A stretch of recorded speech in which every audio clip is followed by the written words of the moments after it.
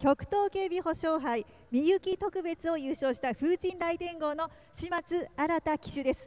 おめでとうございます。ありがとうございます。さあ12月25日以来とちょっと1着からは遠ざかっていたんですが今日は見事な先行逃げ切りでした。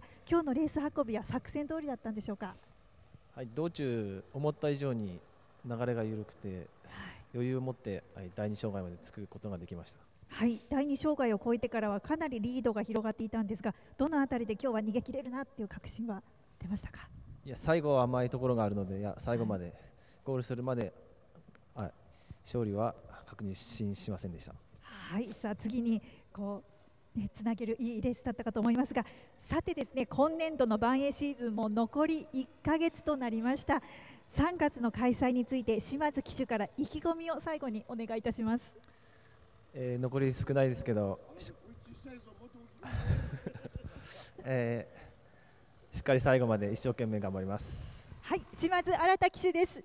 おめでとうございます以上もしまして本日のメインレース極東警備保障杯みゆき特別の表彰式を終わります。おめでとうございます。